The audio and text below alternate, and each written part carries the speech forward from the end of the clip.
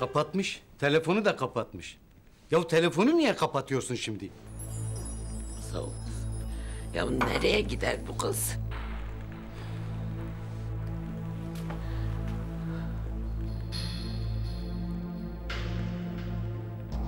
Bir haber yok mu? Benim yüzümden oldu Narin. Yok artık daha neler. Nereden çıktı şimdi bu? Biliyorum. Hepsi benim yüzümden.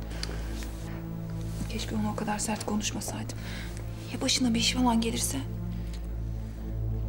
Kötü şeyler düşünmeyelim. Durun bakalım. Abaya haber verdim. Çocuklar da bakıyor.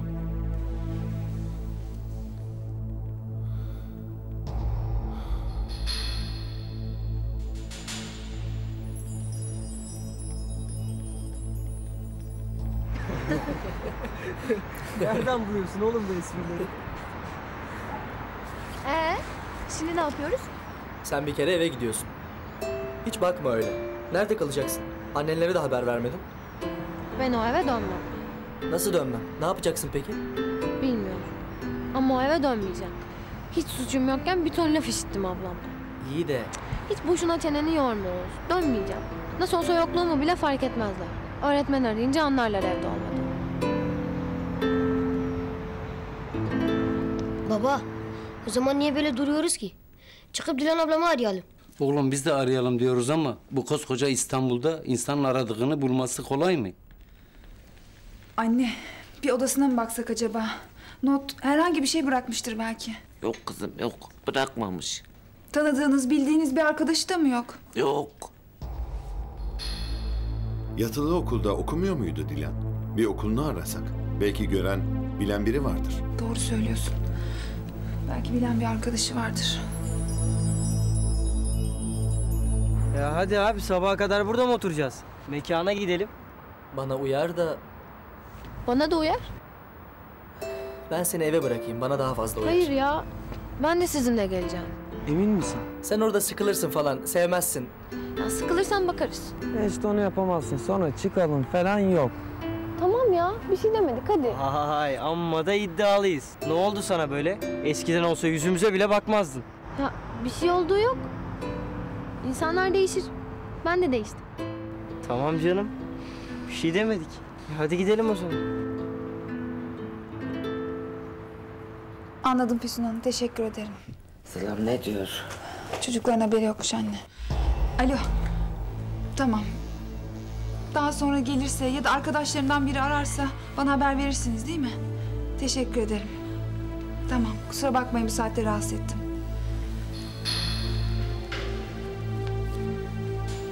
Çalıyor mu? Yok kapalı diyor. Hele ortaya bir çıksın ben soracağım ona telefon kapatmayı. Celil. Baba, bak üstüne gitmek yok. Söz ver bana. Zaten her şey kötü.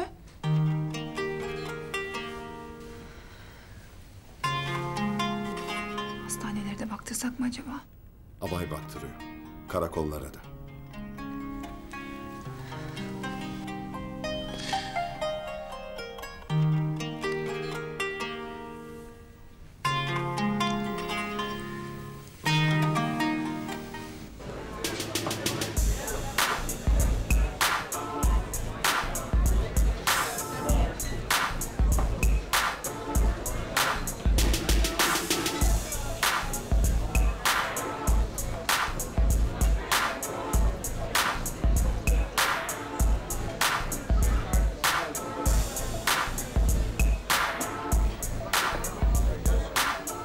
Durum nasıl? Sıkıldın mı? Hayır, gayet iyiyim. Dans edelim mi o zaman? Ne dersin?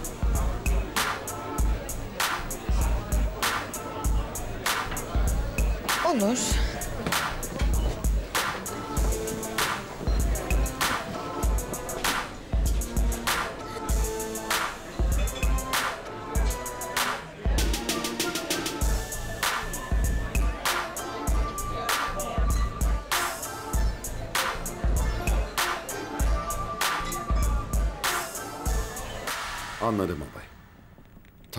Sana da haber veririz. Henüz bir haber yok. Ama en azından kaza falan olmadığını öğrendik. Hastanelere bakmışlar. Sılam. Şimdi bu iyi bir haber demek değil.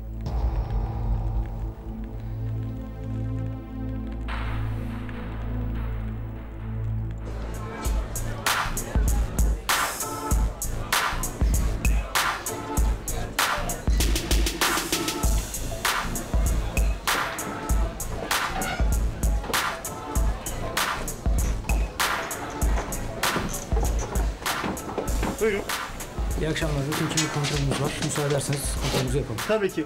Arkadaşlar ışıklar. Buyurun. Buyurun. İyi eğlenceler gençler. Kimlik kontrolü.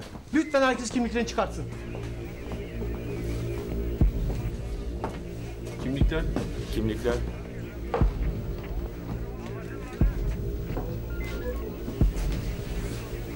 Tamam. Kimlikler.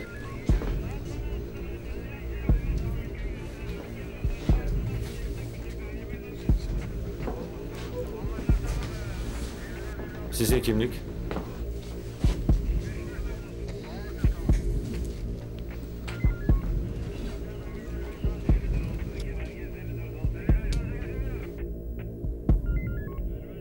Senin kızım. Ben göstermiştim Olsun bir de ben bakayım.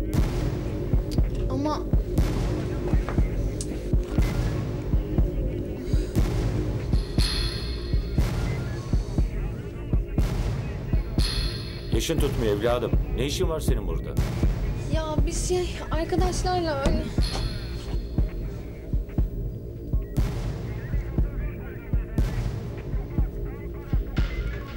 Bu ne? Be- benim değil. Oraya yaslan hemen. Yaslan dön dön dön.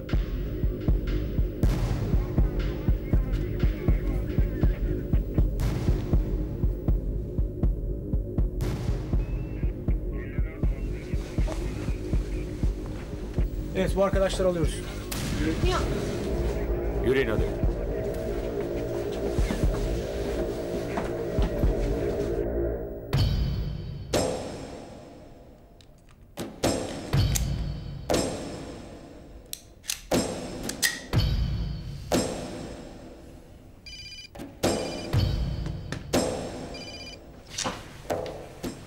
Buyur baba. Ne oldu Osman? Durum ne? Zinara kabul etmemiş baba. Hüküm uygulanmayacak demiş. Desin bakalım. Aliya ne demekte peki? Alam görevi bana vermiştir baba. Hem amcamın intikamı hem aşiretin şerefi için hükmü ben uygulayacağım Allah'ın izniyle.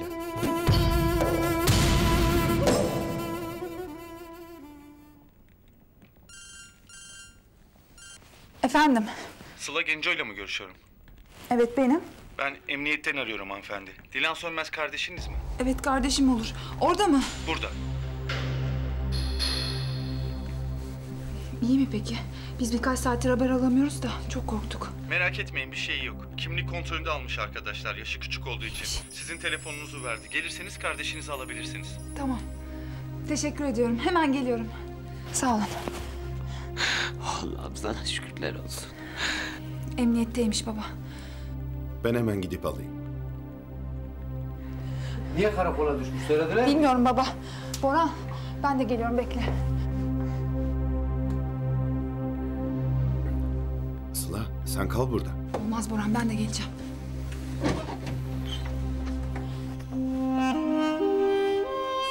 Ya Allah da bunların yokluğunu vermesin ha. Allah'ım şükürler olsun.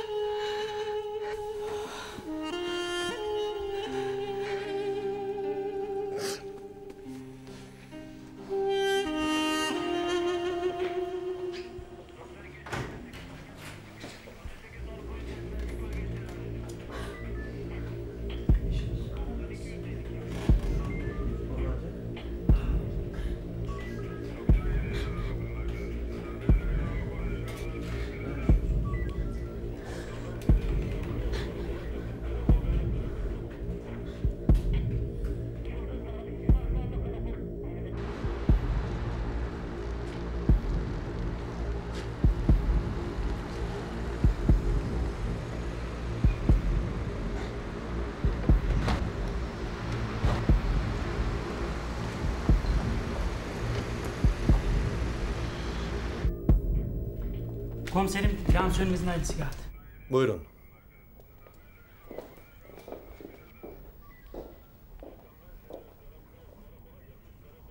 Gerekli belgeleri hazırladıktan sonra serbest bırakacağız kardeşinizi. İyi mi peki? Herhangi bir şey? Merak etmeyin. Hiçbir şeyleri yok. Rutin arama sırasında almışlar zaten. Görebilir miyim? Tabii buyurun. Çocuklar ilgilensinler sizinle. Ben de bu arada evrakını hazırlatayım. Teşekkür ederim. Ya düşünüyorum da insani durduk yerde karakola çekmezler ha. Kesin bir şey yaptı bu. Ya nereden biliyorsun Celil? Ya başına bir hal geldiyse yavrumun? Allah korusun. Hem öyle bir şey olsa Sıla arar haber verirdi. He. Ya kızım doğru söylüyorsun da dünyanın bin türlü hali var. İnsan merak ediyor tabii. Öyle aklına hiçbir şey getirme Celil Efendi. Kabahatin büyüğü bizde. Biz ihmal ettik yavrumu. Yeteri kadar ilgilenemedik. Her akşam böyle kaç tane çocuk geliyor buraya bilseniz. Peki bu barlar nasıl açık kalıyor? Kapatıyoruz. Ruhsatı iptal ediyor. Bu sefer amcasının, yeğeninin, yanında çalışan adamın adına ruhsat çıkartıp yine başlıyorlar. Aslında bizden çok bu çocukların ailesine iş düşüyor.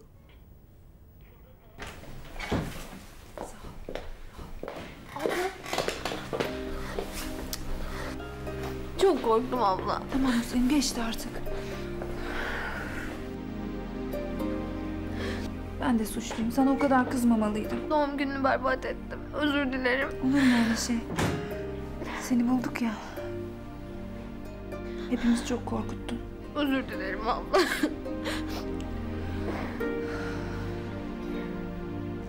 Ne yaptığını sanıyorsun sen? İnsanların doğum günü partisini berbat ettiğini farkında mısın? Hastaların doğum günü partisine gitmek nereden çıkıyor? Arkadaşım o benim Ömer. Arkadaşın olabilir. Sen hep söylemiyor musun? Hastalarına bu kadar yakın olmak etik mi? Kurallara uygun mu? Anlamıyorsun galiba. Arkadaşım diyorum. Sen arkadaşın olarak konuşmuyorsun. Aynı zamanda hastan o senin. Bana işimi öğretme tamam mı? Nasıl davranacağımı öğretme. O hastan. Peki ben neyinim? Ha? Neyinim? Ne alakası var?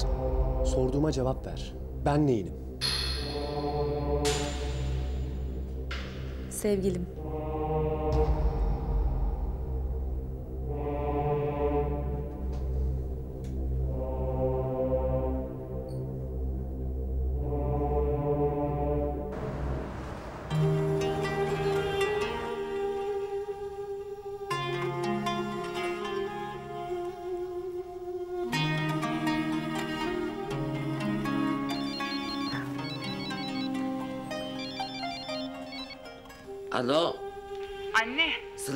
Yaptınız yavrum çıktınız?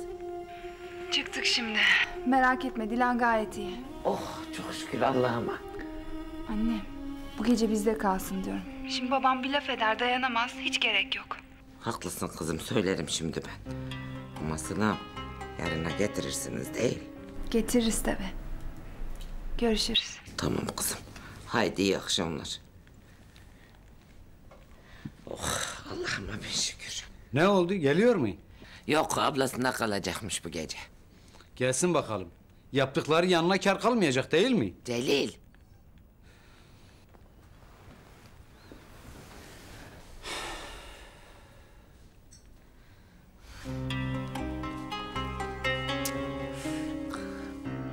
Hadi Dilancığım.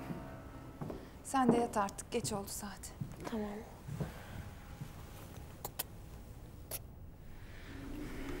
Özür dilerim abla. Ben böyle olacağını... Tamam canım. Bunları sonra konuşuruz. Hadi dinlen şimdi sen. İyi geceler. İyi geceler.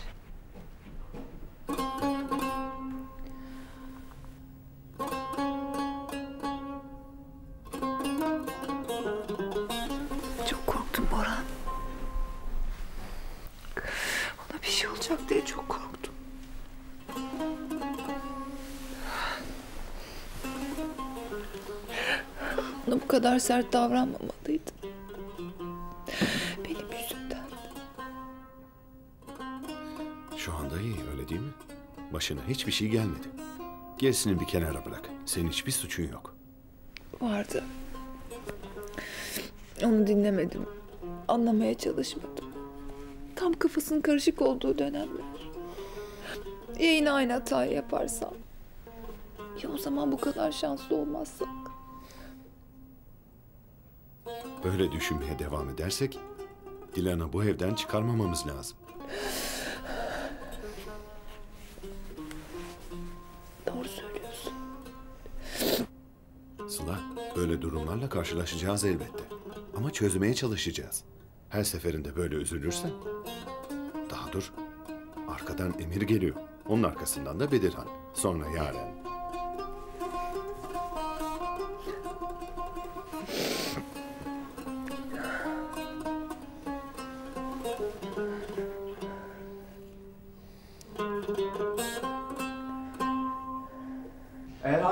Sevgilinsem Mardin'in o arkadaşından daha fazla zaman ayırmak zorundasın. İki haftadır bir yemek yiyelim diyorum sana. Baş başa zaman geçirelim. Anlamıyorsun galiba Ömer. İşim vardı diyorum işim. Anlıyorum.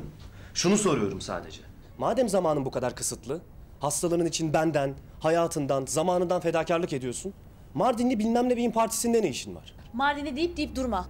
Şöyle söyleyeyim öyleyse. O arkadaşının partisi için ayırdığın zamanın aynısını bana da ayırmanı istiyorum. O arkadaşınla hediye seçmek için ayırdığın zamanın aynısını bana da ayırmanı istiyorum. Yeter Ömer yeter. Aynı şeyleri söyleyip durma. Sen de aynı şeyleri yapıp durma. Anladın mı beni? Bu durumu hiç sevmedim. Mardinli'yi de sevmedim. Senin şu şefkatli doktor hallerini de sevmedim. Oturup bir düşün.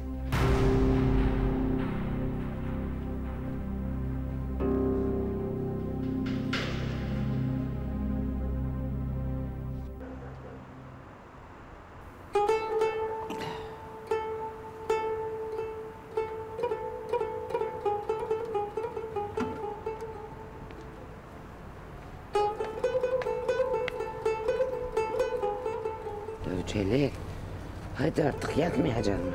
Ya yatsam ne olacak? Uyuyabilecek miyim ki sanki?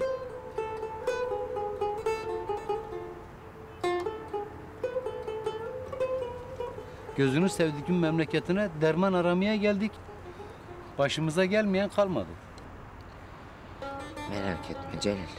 Dert veren derman da verecek elbet. Ya Bedar, biz bu kızla ne yapacağız ya? Vallahi ben ne yapacakımı şaşırdım. Kızsam bir türlü, azarlasam bir türlü. Celil. Kızılacak yerde kızacağız. Sevilecek yerde seveceğiz. Ama bir tek gözümüzün önünden ayırmayacağız.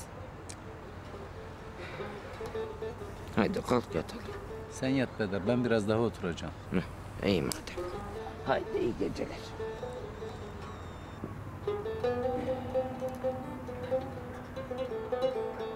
Çok oturma.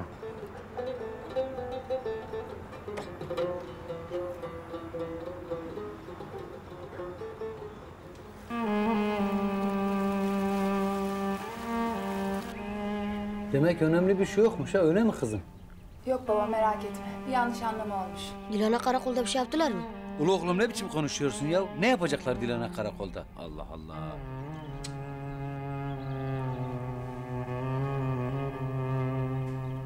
Anne. Çok üzülmediniz değil mi? Kızım o nasıl laf? Üf, oklumuz çıktı. Ama ne zaman ki telefon ettiler, bulduk dediler. O zaman dünyalar benim oldu. Bütün suç benim anne. Özür dilerim. Yok kızım yok. Senin bir suçun yok. Kabahatin büyüğü bizde. Layıkıyla ilgilenemedik seninle. Ama bak gör. Bundan sonra hiçbir şey eskisi gibi olmayacak. Hep beraber olacağız sana söz.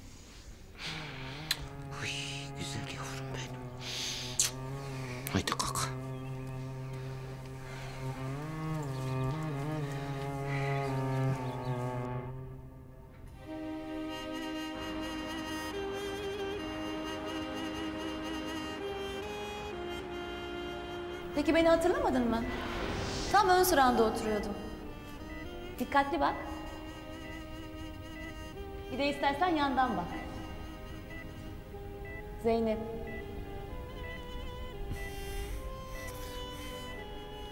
İşte şimdi sen benim elime düştün Boran. Hipokrat yeminin var mıydı senin? Var tabii olmaz mı? Ama merak etme. Hastalarım için kötülük düşünmem. Onlar iyileşene kadar beklerim söz.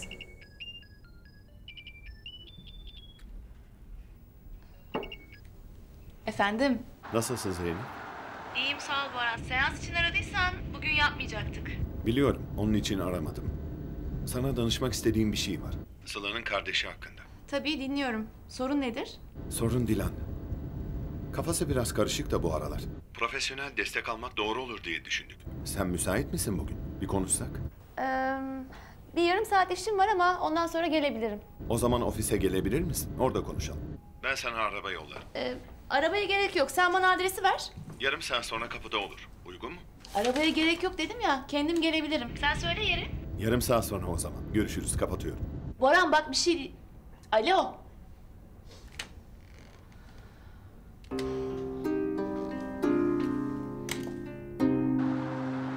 Bir şey söylemeyecek misin? Ne söyleyeyim? O kadar utanıyorum ki. Dün akşam unutalım o zaman tamam mı? Olur böyle şeyler. Tamam. Ben de küçükken evden kaçmayı çok düşünmüştüm. Ama cesaret edememiştim. Sen benden cesur çıktın. Ya değil mi? Ağlamaktan gözlerim şişti bütün gece ama. Dilan. Sıkıldığında istediğin zaman bizde kalabilirsin. Sağ ol abla.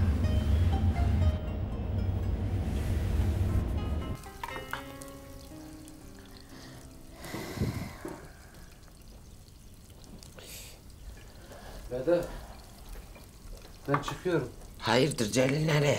Ya nereye olacak? İş bakacağım yine. Çok yorma kendini bari. Nasıl olsa biraz daha yetecek kadar paramız var değil. Hı hı. Nereye gidiyorsun baba? Hava alacağım oğlum dolaşacağım biraz. Ben de geleyim mi? Ben de hava alırım. Sen havanı burada alırsın ancak tamam mı? Dersler bitti mi? Ne deriz baba? Ben okula gitmiyorum ki. Vay. Ha, aferin sanki bir de marifetmiş gibi. Ya Celil, bu böyle başımıza kalacak ha. Madem kalıyoruz burada gitmiyoruz. E tatili beklemeden yazdıralım şunu en yakın bir okula. Tatile ne kaldı ki ana? Boşun boşuna önlük, defter, kitap, kalem ne gerek var yani? İkinci sömestrde alırız artık. Oğlum sen ödevini bit... Yatakını topladın mı? Zaten topladır baba. Gelip bakayım bir. Tamam ya toplarız. Hadi haydi. Allah Allah. Bedar bunlarla işimiz var ha. Eyvallah. Haydi ben gidiyorum. Hadi güle güle Celil.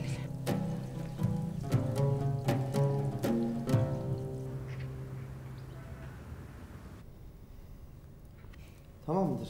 Bitti mi bizim vazifemiz? Sizinki tamam. Diğer ortakların imzası için bekleyeceğiz. Anlaşıldı.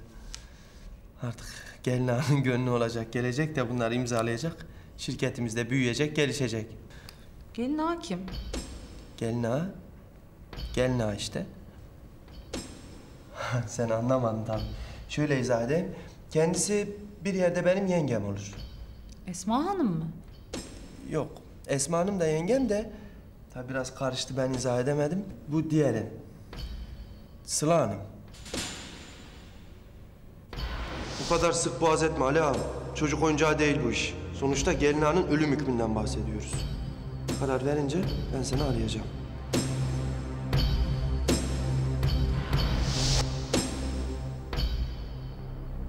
Ne oldu?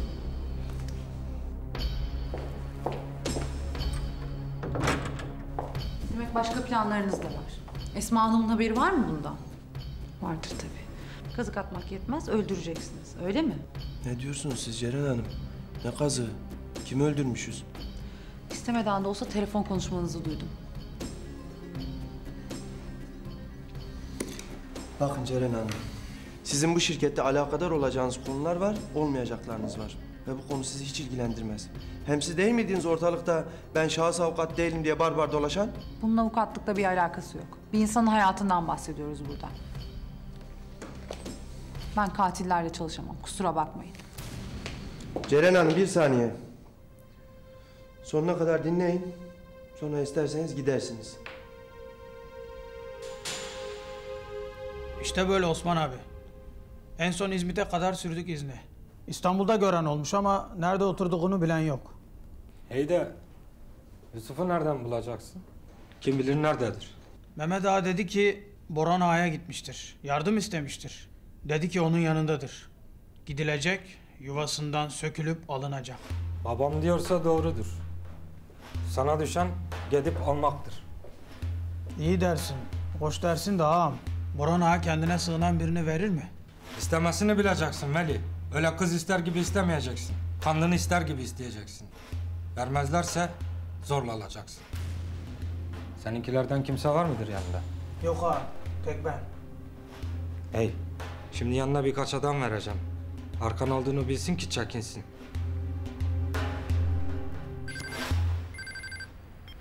Efendim. Tamam gelsin. Sıla Hanım iyi günler. Merhaba. Refik Bey'in araştırma dosyasını getirdim. Takip ettiğimiz şahsın oldukça düzenli bir hayatı var Sıla Hanım. Belli saatlerde eve geliyor, belli saatlerde evden çıkıyor. Ailesi İzmir'de yaşıyor. Kendisi İstanbul'da yalnız yaşıyor. Ve bir erkek arkadaşı var. Siz de zaten o gece... Tamam. Bu kadar değil mi? Evet Sıla Hanım, ayrıntılar raporda var zaten.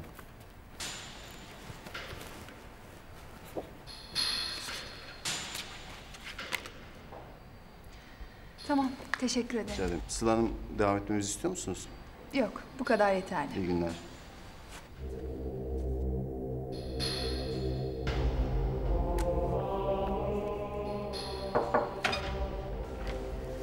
Edip Bey geldi sizi bekliyor Sıla Hanım. Geliyorum.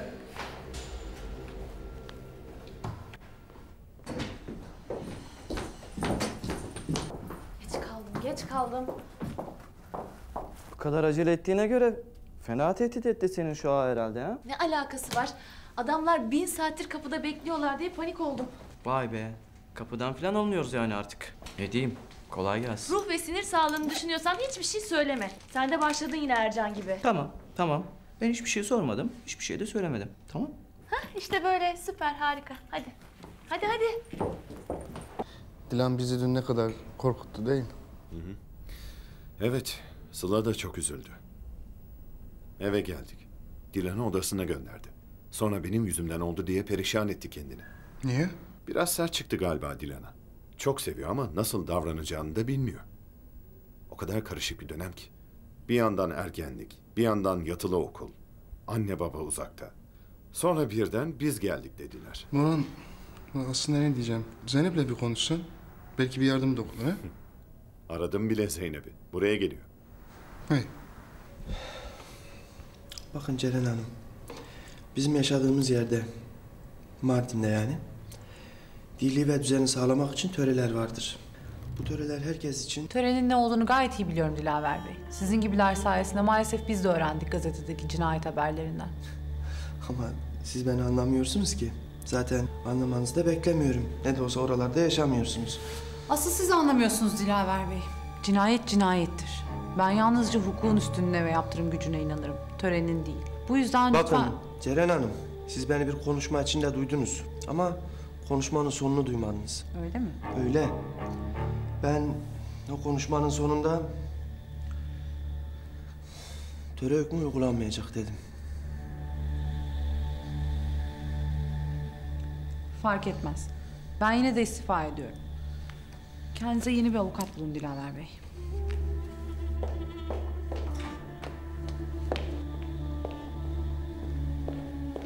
Bu nereden çıktı ya?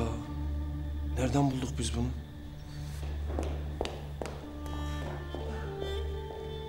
Dilaver. Konuşabilir miyiz biraz ham madde alımları ile ilgili? Allah Allah. Müsait miydin? Konuşalım bakalım. Sıla Hanım.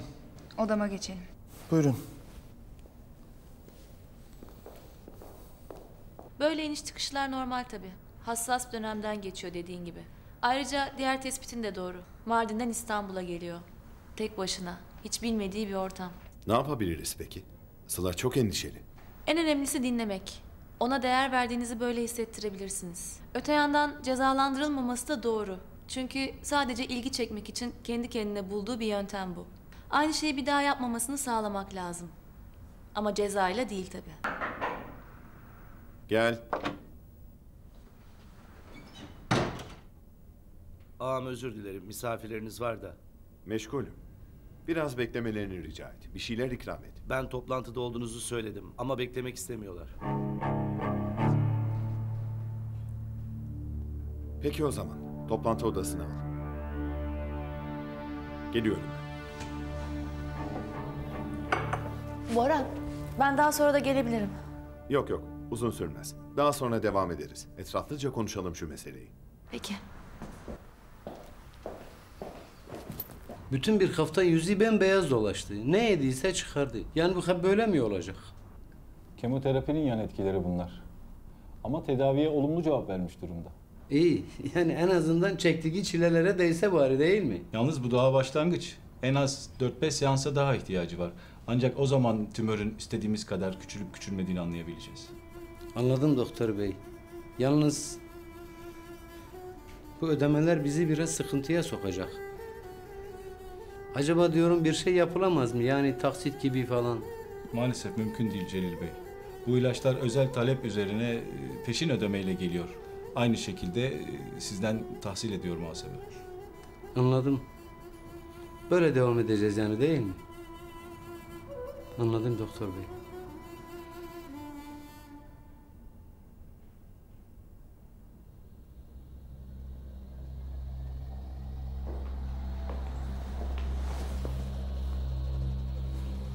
Geçmiş olsun Boran ağa.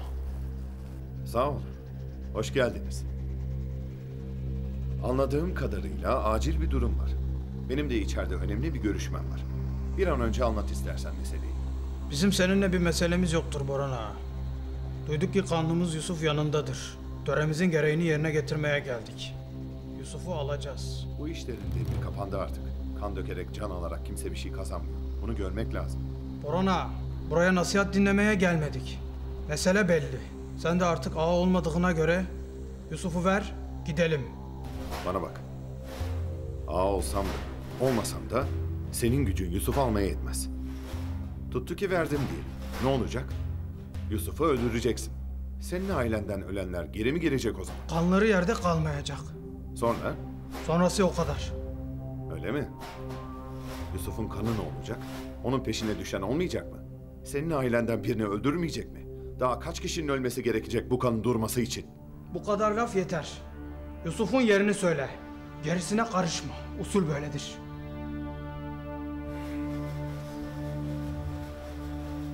Haddini bil Veli. Bana usul öğretme. Defol git şimdi buradan. Orhan ağa. Ya hemen Yusuf'un yerini söylersin bana. Ya da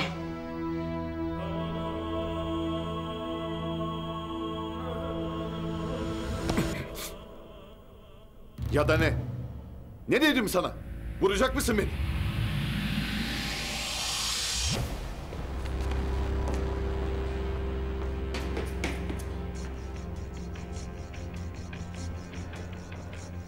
Anca bundan anlıyorsun değil mi?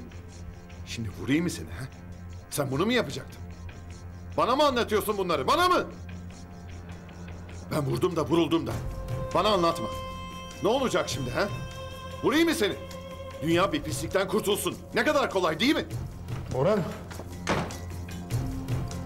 Sakın.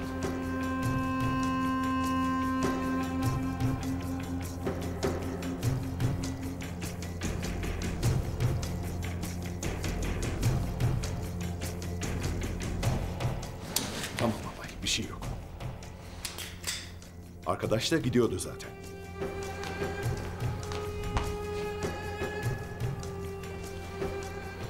Bunun hesabı görülecek Boran ağa. Çok fena görülecek.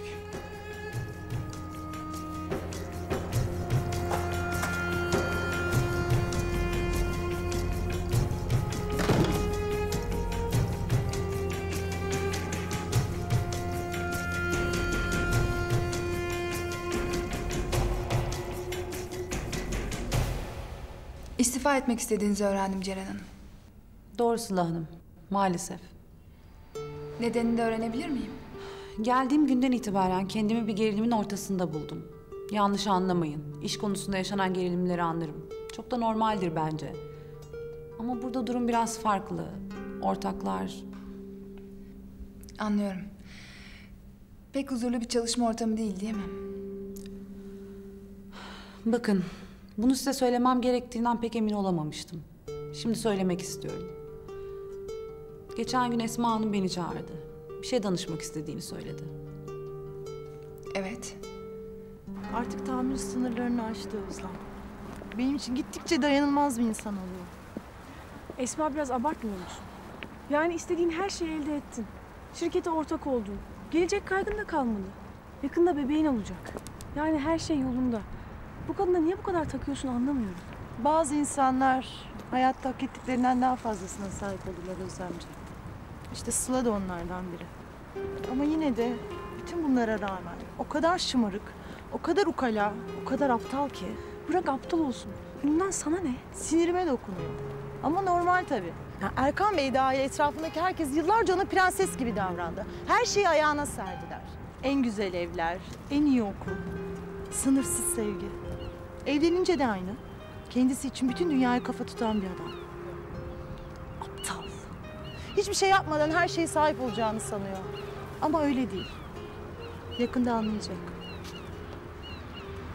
Böyle bir taleple karşılaşmak sizin için can sıkıcı. Anlıyorum. Ama başka bir şey daha var. Sizin Dilaver Bey ile akraba olduğunuzu bilmiyordum. Bugün öğrendim. Öyle mi? Bana bazı şeyler anlattı. Törelerinizden bahsetti. Bunu neden yaptığını anlamadım. Ama sizin için gereksiz bir sohbet olmuş sanırım. Sizin dışınızda bir konu. Bakın, ben töreler hakkında hiçbir şey bilmiyor değilim. Bazı şeylerin değişmesinin zaman aldığını anlıyorum. Ama bunu kabullenmem mümkün değil. Neden bahsettiğinizi anlamıyorum. Üzerinizde bir ölüm hükmü olduğunu söyledi Dilaver Bey. Öyle mi?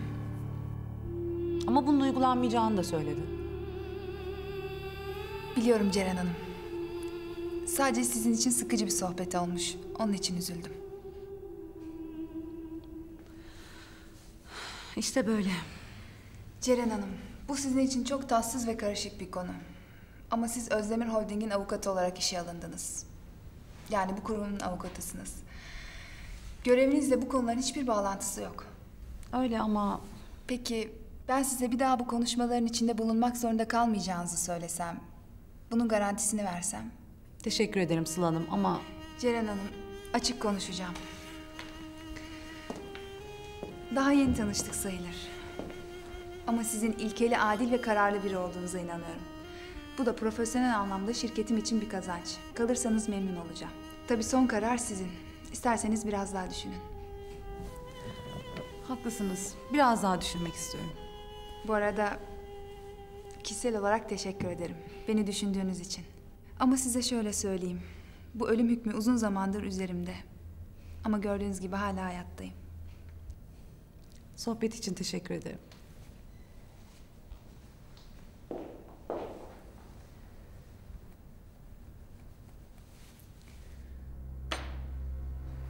Amcamın yokluğunda buradaki işlere ben bakacağım. Benden habersiz kimse bir şey yapmayacak anlaşıldı mı? Baş üstüne ağam. Şimdi iş başına. Gelin ağadan haber getireceksiniz bana. Ne yapar? Nerede durur? Nerelere gider? Ne yer? Ne içer? Ona varıncaya kadar. Anlaşıldı mı? Anlaşıldı ağam.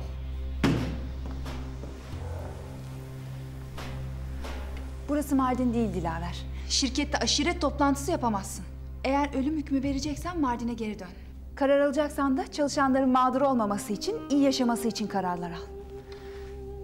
Bu arada saçma sapan töre hikayeleriyle de kimsenin aklını bulandırma.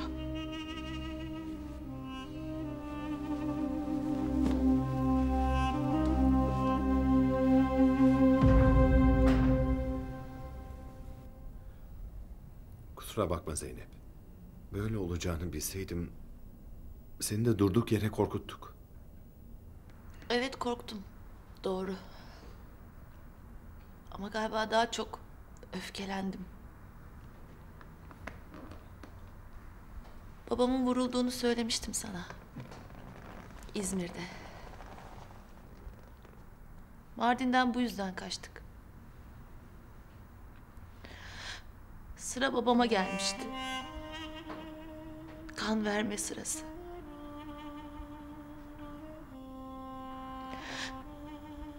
İlk başta her şey iyi gidiyordu İzmir'de. Tamam dedi babam. Kaybettirdik izimizi. Geceleri sessiz sessiz konuşurlardı. Bir köşeye oturup fısıldaşırlardı. Ama ben uyumazdım. Dinlerdim. Sonra bir gece babam dönemedi eve. O geceden sonra Bütün geceler annemin ağıtlarını dinledim. Biz uyurken o incecik sesiyle ağıtlar yakardı.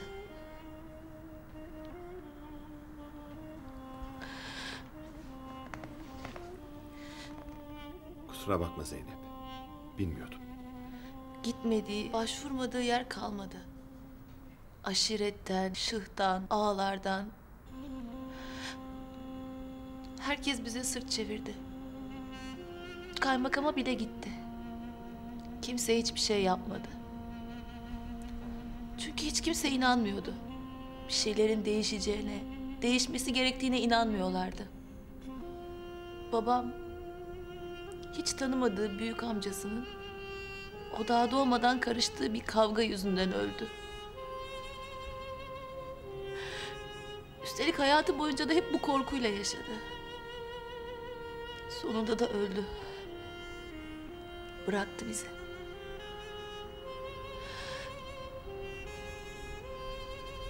İşte o zaman biri çıksaydı, o zaman biri çıksaydı karşıma senin gibi, belki de babam yaşayabilirdi Boran.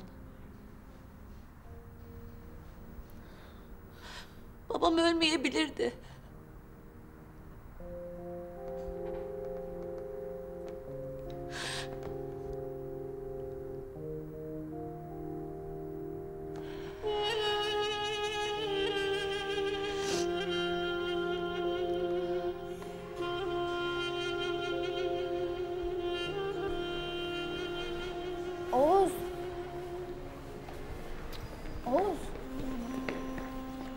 Beri sesleniyorum. Duymuyor musun? Duymamışım, pardon. Nasıldı dün? Yani kızdılar mı?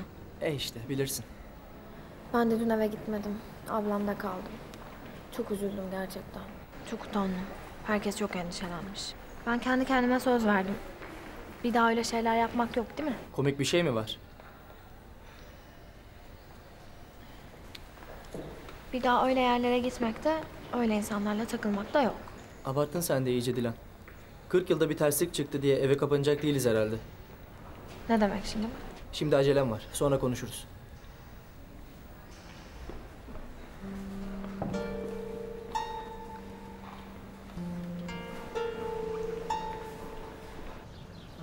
Doktorla konuştum. Yani her şey iyiye gidiyor dedi.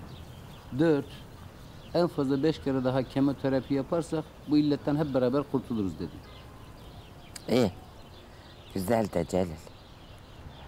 Paramız yetmez ki. Bir çare bulacağız Bedarım. Ya Celil nasıl çare bulacağım? İş bakacağım diyorsun. İşten aldığın ancak eve yeter. Sılama da diyemeyiz. Ne yapacağız? Evi satacağız. Mardin'deki evi. Ya Celil sen aklını kaçırdın. Nasıl yaparız? Mardin'e nasıl döneceğiz? Çocuklar öğrenmeyecek. Ne diyeceğiz onlara? Ya ne diyeceğiz? Lazım oldu sattık diyeceğiz. Bir de onlara hesap mı vereceğiz şimdi? Allah Allah. Şu hayatta hiçbir şeyimiz yok çocuklara bırakacağımız. Bir de evi satarsak. Allah büyüktür Bedarım. Sen canını sıkma tamam mı?